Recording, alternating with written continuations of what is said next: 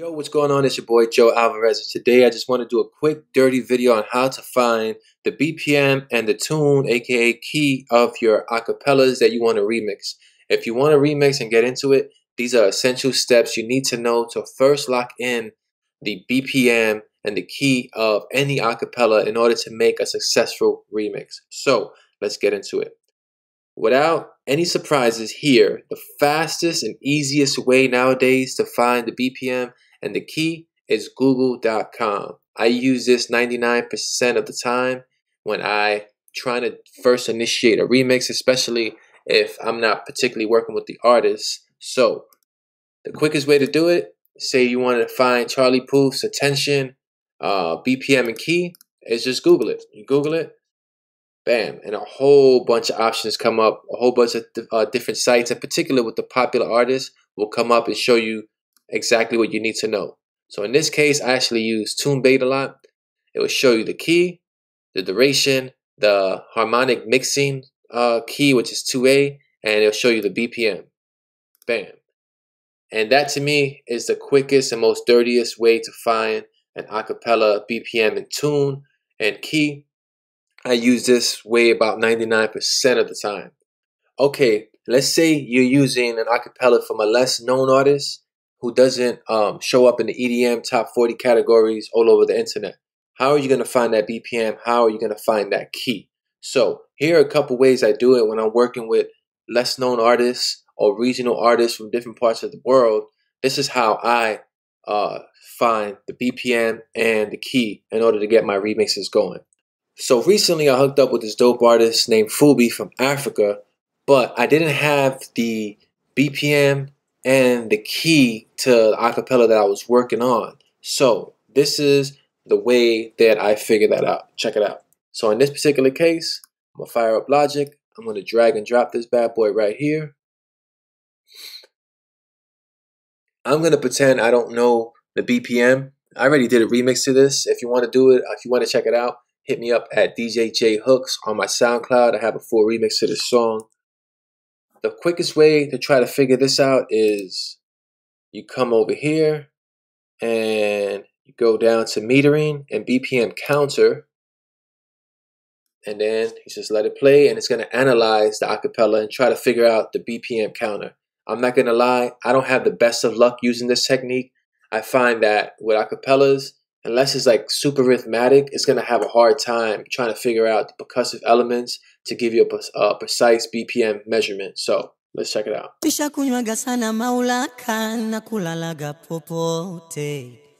Washanizushiaga kibaka nusura waninyongote, manguo yangu yote viraka siheshimiki popote, mwishowe wantoe sadaka ndo uje uniokote, nisiwe mwongo, sio kwamba silagi na kula nikikukumbuka ndo na achana, sio kwamba silali nalala, ila picha yako mpaka tapotoka, sio kwamba silaki nikikukumbuka ndo na achana, sio kwamba silali yeah. ndo kama hivi nikitoka As you can see, it's struggling to find the BPM. That's been about 20 plus seconds and it still can't find it. So sometimes this way works, sometimes it doesn't. In this particular case, I'm going to try to do this by ear. So what I mean by that is I'm going to try to adjust it to the tempo that I think it is. So if I just go come up here, hit the metronome, it sounds like it's in about the 80s to 90 range. So I'm going to just say put it on 85 for now and try to figure it out there. For me, for me, for me, for me. Sometimes. Nishakunywaga sana maulaka na kulalaga popote, I can hear it's a little slow. I'm going to speed it up a little bit. washanizushiaga kibaka nusura waninyongote, manguo yangu yote viraka siheshimiki popote, mwishowe wantoe sadaka ndo uje uniokote, nisiwe mwongo, sio kwamba silagi na kula nikikukumbuka ndo na achana, sio kwamba silali lalala, ila picha yako mpaka tapote So that sounds like it's about 91. Let's see if the BPM counter showed up. Never did.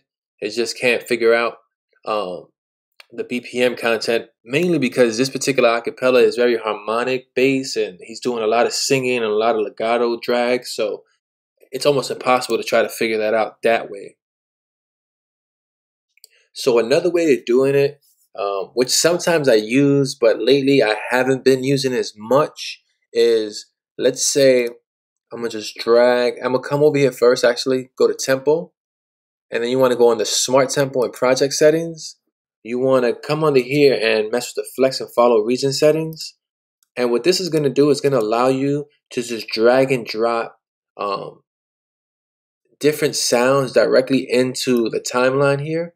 And it's automatically going to analyze it and figure out uh, the tempo and everything and put all the, the BPM points in here. And so when, I'll just delete this one. So when you come over here,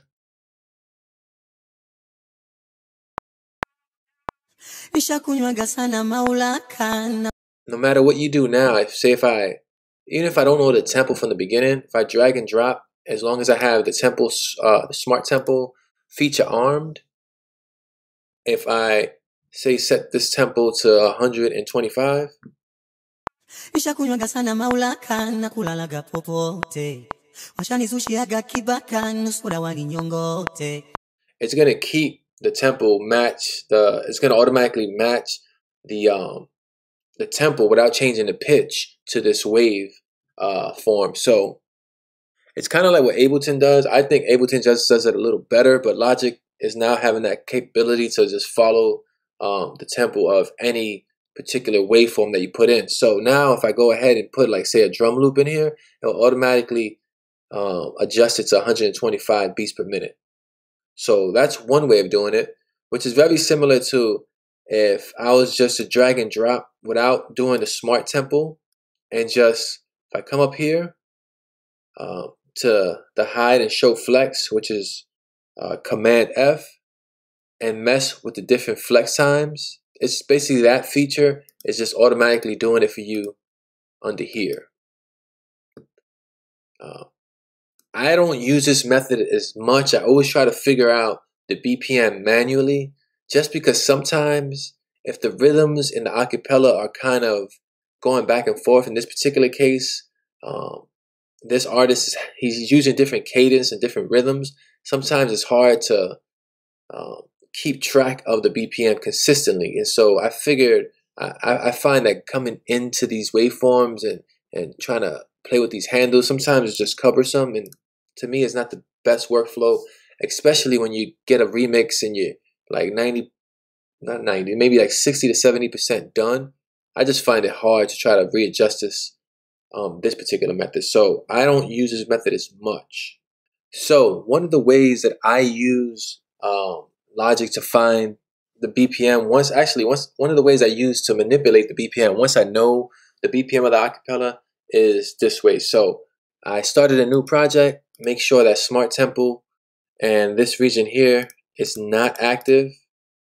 Um, you don't you want that to be turned off, so you don't want auto flex. And I'm gonna just drag and drop this acapella back into my timeline. Bam. In this particular case, I know that the BPM for this acapella is 91. I'm gonna adjust it. Just listen to it real quick. Sana maulaka na kulalaga popote washanizushiaga kiba Cool. Just double click on that. Come down here to File. You want to go to Function, Time, and Pitch. It's going to be your best friend. Now, this bad boy looks super archaic. It looks like something out of 1998. But I find that this is the best way to try to keep my um, my BPMs for my acapella in perfect um, alignment throughout the whole uh, entirety of the track. So what you want to do is come down here to original. If it's 91, you hit 91. And the destination of the BPM, I like to do my remixes in about 122 to 124 BPMs. So I just hit 124. It's going to tell you that it's 36% uh, stretching the original. So that's the destination. Sometimes that's going to be too much. Other times it's going to work just fine. It really just depends on the acapella content. So I want to just process and paste. It's going to take a second.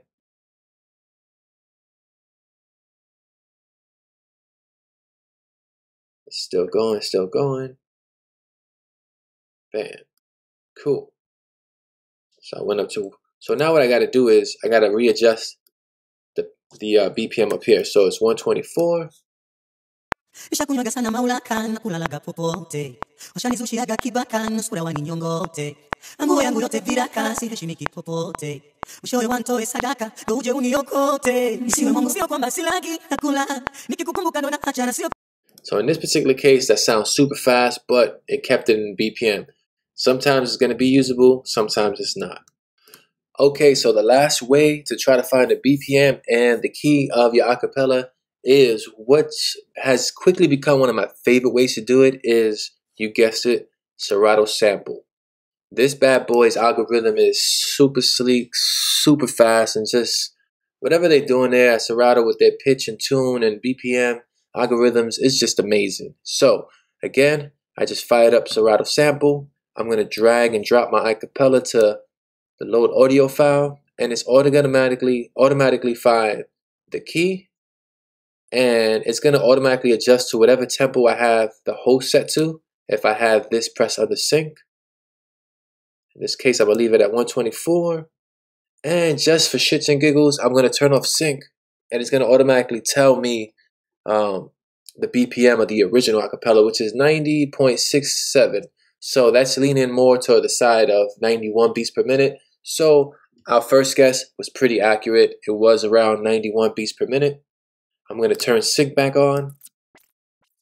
And this way I've been loving doing my remixes lately because it gives me just a lot of flexibility and a lot of little dirty ways to play um, with just the effects when I have a remix set. So in this case, I'm going to just test it out. Nishakunywaga sana maula Nishakunywaga sana maula It's a little off, so I'm going to zoom in.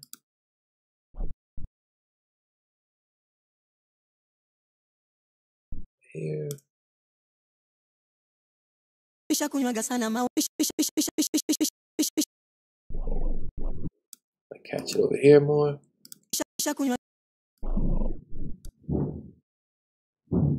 Dang, thunderstorming bad out there. You guys hear that? Shit. Alright, so just turn this back on.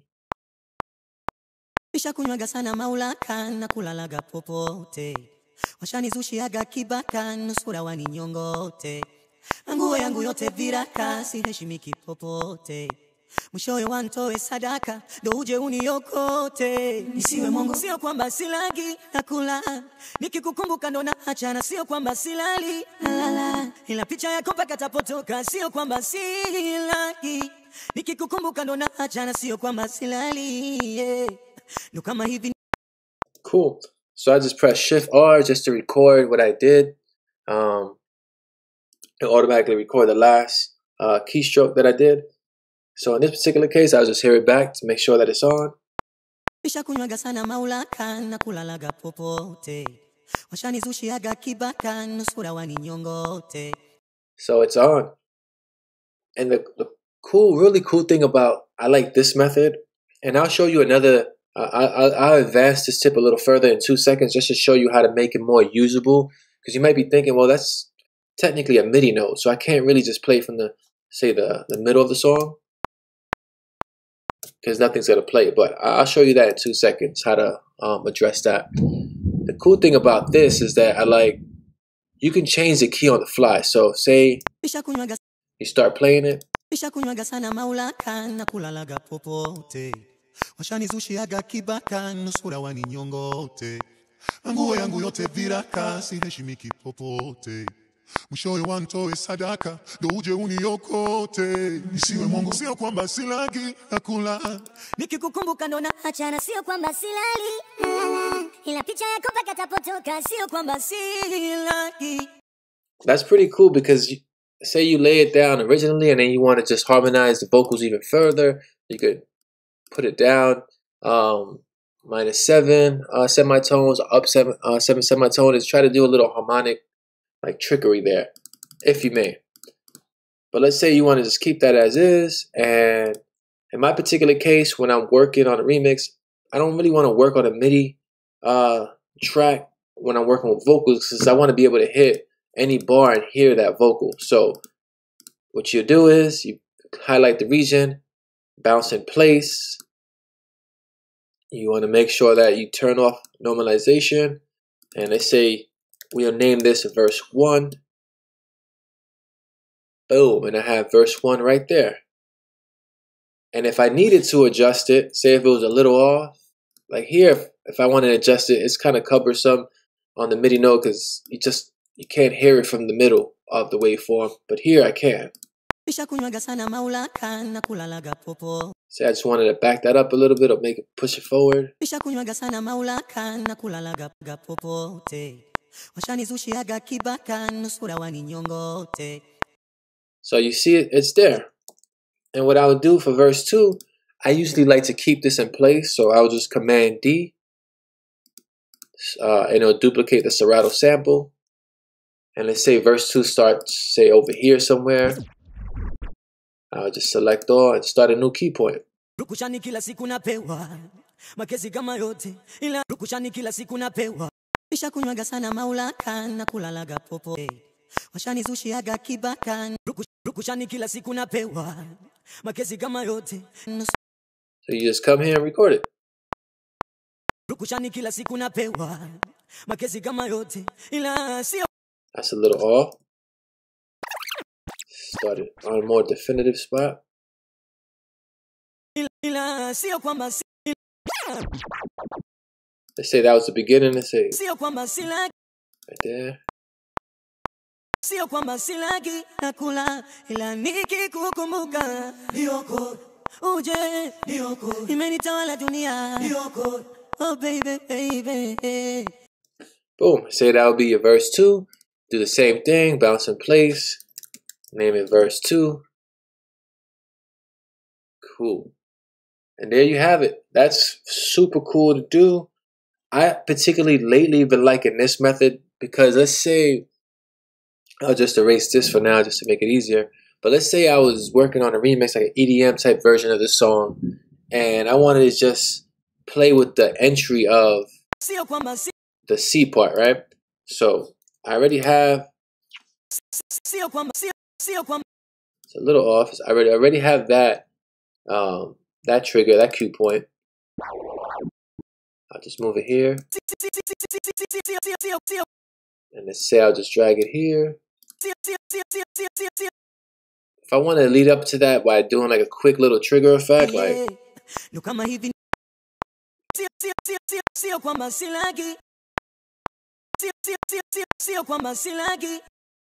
you get the drift. You can do a whole bunch of crazy little things.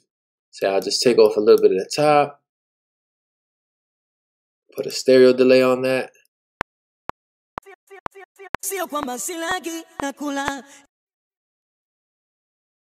You get where I'm going with this. You can just keep doing this and just do a whole bunch of vocal chops and play with the verses. And this is why I like this method. This is probably my second best method. Um, and compared to use, say, like the time machine, which is my first best method. So just play with it, see what you think. Let me know. Holla at me. Leave a comment, subscribe, hit me up. If you want to see me do a full remix from start to end, let me know. I'll definitely do that because lately I've been on a remix kick. You can check my remixes out at DJ J Hooks, J H O O O K S, at SoundCloud.com. I've been posting all my remixes there lately. I really appreciate you. Peace.